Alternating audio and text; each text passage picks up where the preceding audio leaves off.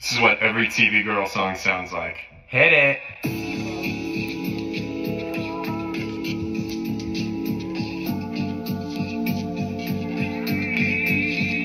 She was just 17, but she looked a lot older.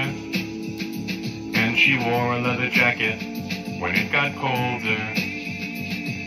Her dad helped build the power plant. Her sister was raised by her aunt, And if you had one leg, you just wear pants. Cause she's an amputee. And she got suspended for vaping. She got suspended for vaping. Yeah, she got suspended for vaping. She got sent to a special school. In her backyard there was an infinity pool. And that's where I used to swim in the summer of 2010. But one time in it I pissed. This was after her and I kissed. And I didn't tell her about the pee.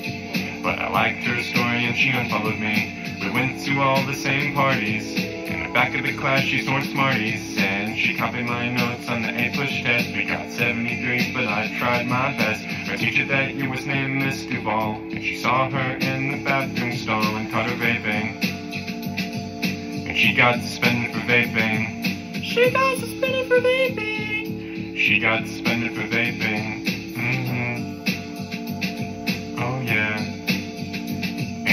Sophomore year, she thought she was square. Sure, she kissed a girl and dyed her hair red. Texts her every day, but she leaves me on read. That's my girl Jessie, she was my bestie. She met this guy, he thought he was cool, but in 2010 he peed in her pool. She was too short, so she stood in a stool, but she got suspended for vaping. She got suspended for vaping.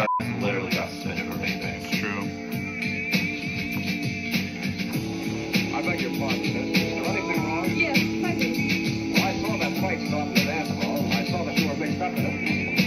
it. I wondered if you were hurt. No, I'm not hurt.